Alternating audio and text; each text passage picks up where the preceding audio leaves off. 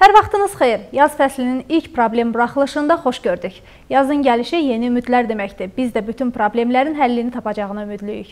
Bunun üçün öhdəmizə nə düşürsə etməyə hazırıq. Öhdəmizə düşən isə sizin bizə ünvanladığınız şikayət məktublarını işıqlandırmaqdır.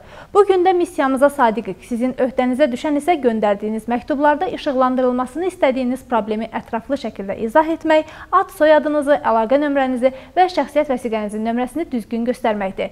Ünvanımızı bir daha xatırladım. Bakı şəhəri Nərmanov rayonu Əhməd Rəcəvli küçəsi 2-21. Bu günlərdə sosial şəbəkələrdə yayılan bir video sürücülərdən daha diqqətli olmağı, dələduzların qurbanı olmamağı tələb edir. Videonun Binəqədi rayonu Gənclər Şəhərciyi yaşayış kompleksinin yaxınlığında çəkildiyi qeyd olunur. İzləyək. Bu görüntülər Binəqədi rayonu Gənclər şəhərciyinin yaxınlığında çəkilib. Sosial şəbəkələrdə videodakı qadının dələduzluqla məşğul olduğu, özünü qəsdən maşının təkərləri altına atdığı bildirilirdi.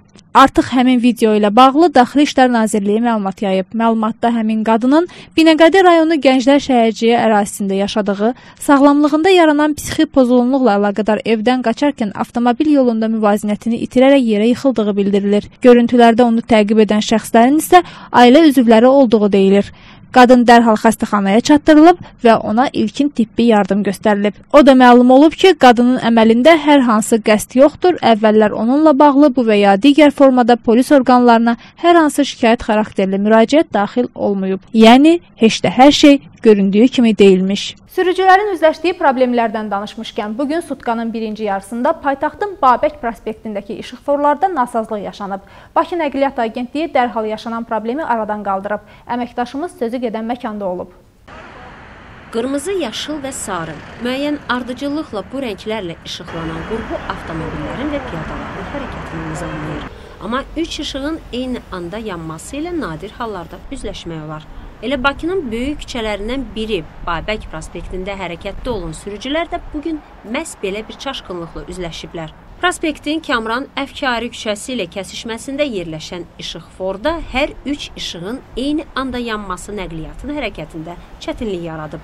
Qırmızı və yaşıl işığın eyni anda yanmasını isə sürücülərdən kimi dayan, kimi isə hərəkət et əmri kimi qəbul eləyir, bu isə onlar arasında çaxnaşmaya səbəb olurdu.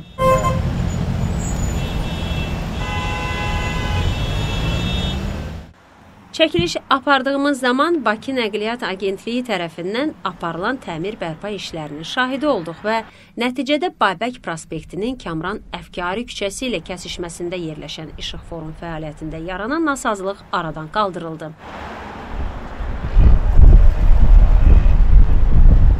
Sürücü və piyada arasında yol mədəniyyətini tənzimləyən işıqforlar eyni zamanda yollarda qəzaların sayının azalmasında da mühüm rol oynayır. Odur ki, işıqforların daim saz vəziyyətdə olması diləyi ilə Proqramımıza göndərilən məktublar arasında qazla bağlı problemlərə rast gəlirik. Azərqaz İstehsalat Birliyi hər zaman öz operativliyi ilə seçilən qurumlardan olduğu üçün bu problemlər qısa zamanda həllini tapır və ya həlli üçün müəyyən işlər görülməyə başlayır.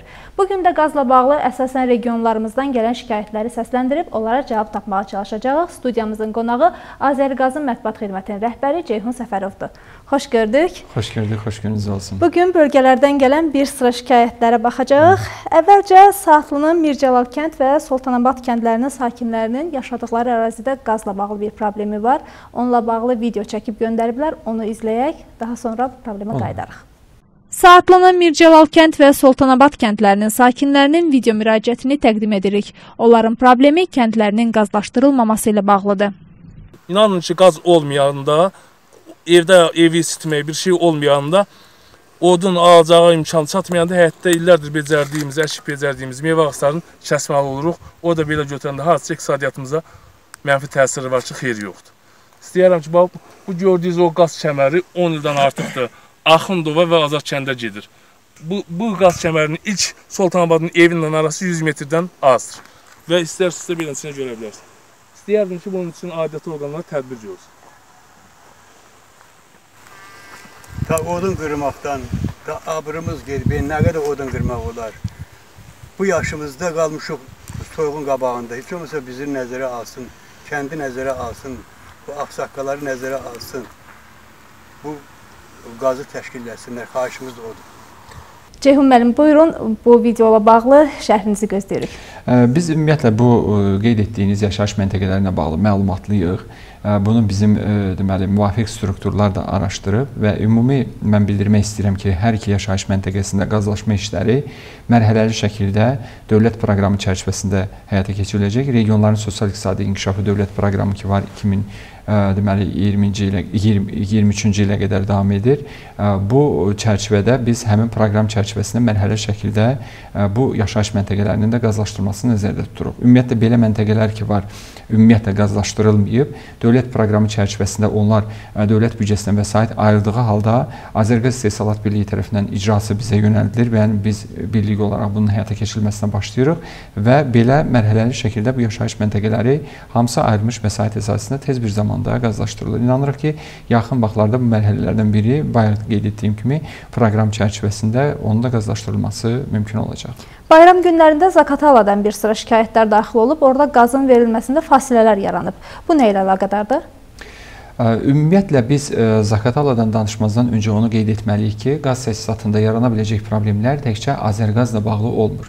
Burada ümumi qaz şəbəkəsi var. Ümumi qaz şəbəkəsində müəyyən vaxtlarda mütəmadi olaraq biz bunu Real TV-də də e, işıqlandırmışıq. E, müəyyən hallarda müəyyən çətinliklər yaranır. Bu çətinliklər yəni təkcə Azərqazla bağlı olmur.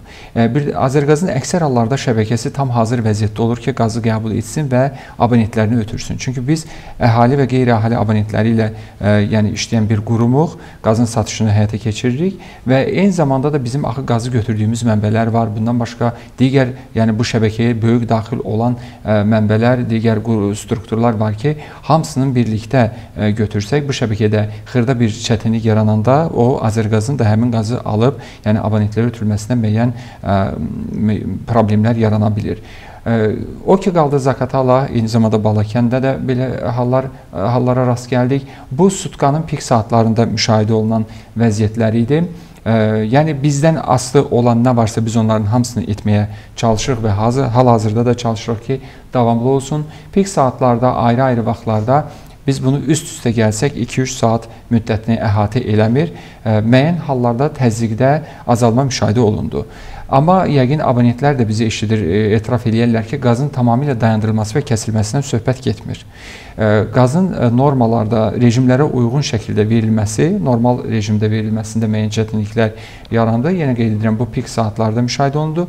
Dərhal buna müdaxilə olundu. Səhər saat 11 radələrindən etibarən həm biz, həm də digər strukturlar var ki, yəni başqa qaz qazın yəni alınması, abonentlərə ötürülməsi ilə məşğul olan digər qurumlar da var ki, biz hamı ilə birlikdə kompleks bu təzyiq məsələsinin tənzimləməsinə başladıq. Baş direktorumuz cənab Ruslan Əliyev dərhal buna reaksiya verdi sosial şəbəkəsi vasitəsilə və e, bir e, bir növ biz bunu tənzimləmək üçün nə lazımsa qüvvələrimizi səfərbər elədik. Nəticə etibarilə artıq e, qazın normal rejimlərdə, yəni təzyiqinin normal şəkildə həmin bölgədə verilməsinə biz nail ola bilmişik pik saatlarda hər hansı bir qaz təzyiqinin azalmasının mümkün olmayacaq artıq. Çünki bu iş e, lazımi səviyyədə artıq yönəldilib müvafiq rəhbər şəxslərə ki, vaxtında bunu icra etsinlər. E, biz e, abonentlərə də özümüzü tutaraq bildirmək istəyirik ki, narahat olmasınlar. Onlar bizə yenə də hardasa bir problem yaranarsa mütləq müraciət etsinlər. Biz onlar üçün çalışırıq. İstəyirik ki, onların problemləri olmasın. Onların problemləri varsa onu öz problemimiz, öz çətinliyimiz kimi qəbul edirik və qaz təsisatında bundan əvvəl əvvəl də bir dəfə e, soyuq günlərdə müşahidə olmuşdu, qeyd olunan bölgədə belə bir hal. Onda da özləri də gördülər ki, dərhal bunun aradan qaldırılmasına çalışdıq. Əmin olsunlar ki, artıq pik saatlarda belə bir problemlə üzləşməyəcəklər. Əla.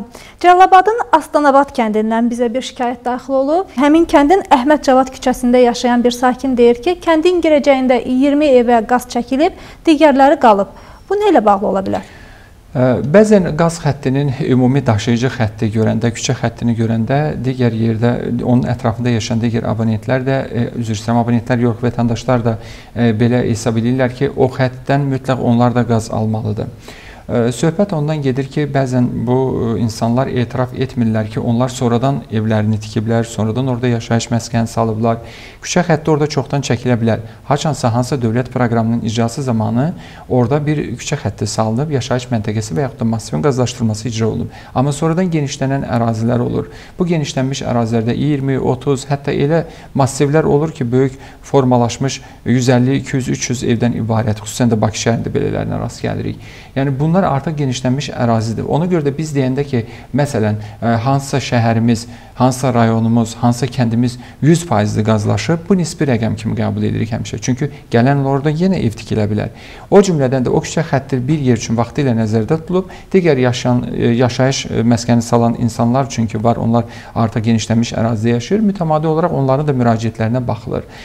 Cəlilabad rayonuna bağlı əgər biz məsələyə toxunuruqsa, mən qeyd etmək istəyirəm ki, burada küçə xətlərinin nəinki orada digər belə genişlənmiş ərazilərdə də sizin proqramda da bir neçə dəfə belə ərazilər olub ki, müraciət olub, biz ona dərhal reaksiya göstərmişik. Bunlar qəbul olunur Azərqaz İstehsalat Birliyi tərəfindən layihə məsələlərinə baxılır və mümkün variantlarda həmin yerlərdə küçə xətləri hansı ki, bu işin böyük həcmini təşkil edir və böyük vəsait tələb edən işin hissəsidir. Küçə xətlərinin çəkilişini Azərqaz İstehsalat Birliyi öz üzərinə götürür. Bizim özümüzün təmir tikinti idarəmiz bunu icra eləyir və bu da mərhələ mərhələli olur. Çünki biz mal material tədarükü də eləməliyik, layihə işlərini də görməliyik, hesabatlarımızı tərtib etməliyik. Daha sonra artıq küçə xətti hər kəsin qapısının ağzından keçəndən sonra ümumi prosedur olaraq onlar müraciət eləyə bilərlər Asan Xidmət, Bakı şəhərində isə Asan Kommunal mərkəzlərinə və digər yerdə qalan işləri işin çox qısa həcmini özləri həyata keçirə bilərlər. Yeri gəlmişkən fərdi qazlaşma ilə bağlı problem yaşayan ə, e, vətəndaşlarımız da olur. Onlar adətən o prosesin necə icra olunmasından bir xəbər olurlar. Dövlət rüsumunun hara ödənilməsi edilməsindən onlara bu maarifləndirici bir məlumatlar verərdiniz. Mən bildirmək istəyirəm ki, ümumiyyətlə iki dəfə iki cür qazlaşma həyata keçirilir. Biri var ki, dövlət proqramı ilə biz buna söhbət əsnasında toxunduq. Yaşayış məntəqələri və massivlərinin qazlaşdırılması ki, dövlət büdcəsindən vəsait ayrılır. Proqramda əksini tapır icra eləyirik. Digəri isə fərdi qazlaşmadır. Ola bilər ki, abonentlərin bir qismi hardasa yaşayan bir şəxs istə dövlət proqramını gözləmir, bilir ki, 1-2 ildən sonra o məntəqə qazlaşacaq və yaxud da ki, gələn illəri gözləmir. O yeni ev tikib istəyir ki, qazlaşmasını həyata keçirsin və və ərazidən də keçən hər hansı bir xətt var. O halda o müraciət edir Asan Xidmət və Asan Kommunal mərkəzlərinə, müvafiq prosedurlar ona izah olunur. Bu bizə e, bunu başqa sözlə desək fərdi qazlaşma adlandırırıq. Vətəndaş e, müraciət etdikdən sonra o podratçı təşkilatın seçimini həyata keçirir. Lisenziyası olan xüsusi tikinti şirkətləridir və onlarla müqavilə bağlayaraq e, öz vəsaiti hesabına işlərini həyata keçirir. Və bu işləri həyata keçirərkən onun podratçı təşkilatla arasında olan münasibətlər Azərbaycan İstehsalat Birliyi hər hansı bir müdaxilə etmir.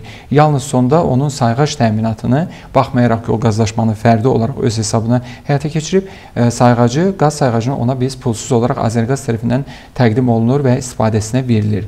E, rüsum məsələsinə gəldikdə isə mən bunu çox açıq, aydın demək istəyirəm ki, bizim e, bizi eşidən vətəndaşlar bilsinlər, hər hansı bir dövlət rüsumundan söhbət getmir, belə bir rüsum yoxdur.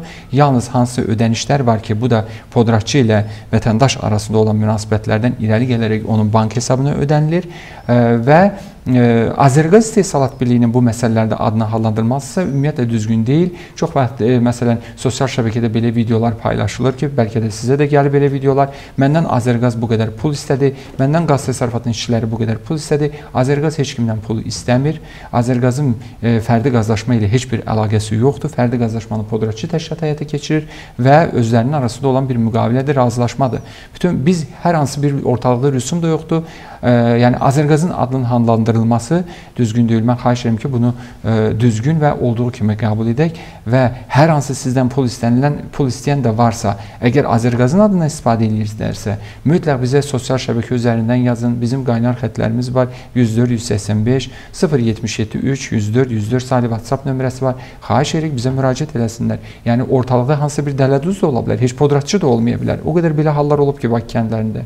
Ümumiyyətlə heç bu lisenziyası olan təşkilat deyil. Vətəndaşı aldadır, nə nəsə bir oyun oynayır və gətirib quraşdırdığı qaz sayğacını da başqa hansısa bir rayon ərazisindən oğurlayaraq başqalarının qapısından oğurlanmış şəkildə gətirilib orada quraşdırılan qaz sayğacıdır. Sənə kart nəyə lazımdır? Sənə başqa şey nəyə lazımdır? Sən hələ ay ay mənə vəsaiti ver. Mən ə, səninlə bu qaz almağı tam tam təmin edəcəm. Axırı olmayan bir prosesdir. Yəni bunlar dırnaqarası peşəkarlardır. Ə, ona görə də mən ə, bu gün mətbuatdan da xahiş edirəm. Elə sizin də ə, izləsinlər Real TV-ni, həm də sizin saytda da bu barədə yəqin ki məlumatımız var. Bu gün yayımlamışıq. Bütün detalları orada açıqlanıb. Və bir qədər sonra bizim ə, bu gün axşam saatlarında sosial şəbəkədə video rolik yerləşdiriləcək. Bizim öz rəsmi şəxsimiz Teymur Cəfərov qazlaşma yeni qazlaşma və inkişaf şöbəsinin rəisidir. Tam bu fərdi qazlaşmanın mahiyyətini açıqlayır. Sənədlərə qədər orada bizdə videorolikdə hamısı göstərilir. Xahiş edirik baxsınlar və o kimə, hara müraciət etmək lazımdır açıq-aydın bilinəcək. Daha bir tamaşaçımızdan şikayət daxil olub Biləsuvar şəhərindən Həsənov Afət Vahaboğlu. O deyir ki, e, sayğaca müdaxilə etməsi iddiası ilə ondan 72 manat e, belə deyə cərimə olunub. Daha sonra o məhkəməyə verəndən sonra üzə çıxıb ki, bu yalan məlumat imiş və onun pulu geri ödənilməyib. Bilirsiniz, belə hallar bizdə pandemiya dövründə çox oldu. Xüsusən də icra orqanları bəzi hallarda bunu işləmədilər, yəni onlayn rejimə keçmişdilər və yaxud da ki, iş üsulları dəyişmişdi. Mən tam dəqiq məlumatlı deyiləm. Bizə bəzi belə müraciətlər olurdu. Xüsusən də karantin rejiminin sərtləşdirildiyi vaxtlarda bilirsiniz, bu cür qərarların icrası üçün bizə icra sənədləri daxil olmalıdır. Və bu icra sənədləri daxil olmadıqda o tələb, o istək yerinə yetirilmir. E, yerinə yetirilməsi ümumiyyətlə mümkün olmur. Hüquqi baxımdan onun bizə icra sənədi daxil olmalıdır müvafiq icra orqanları tərəfindən. Konkret olaraq bu şəxs ətrafında isə mən indi hal-hazırda bir fikir deyə bilməyəcəm. E, məsələni sizdən götürərək ötürəcəm mən hüquq departamentimizin əməkdaşlarına və yəqin ki, onun əlaqə koordinatları da var, özünə ətraflı məlumat verərik. Təşəkkür edirəm Ceyhun müəllim. Mənə elə gəlir ki, bütün şikayətləri ətraflı izah verdik və Siz hər bir problem də öz həllini tapacaq. İnşallah problemimiz olmasın. Siz sağ olun. Bizdən bu qədər. Siz isə işıqlandırılmasını istədiyiniz problemləri poçt ünvanımıza göndərə bilərsiniz. Hələlik.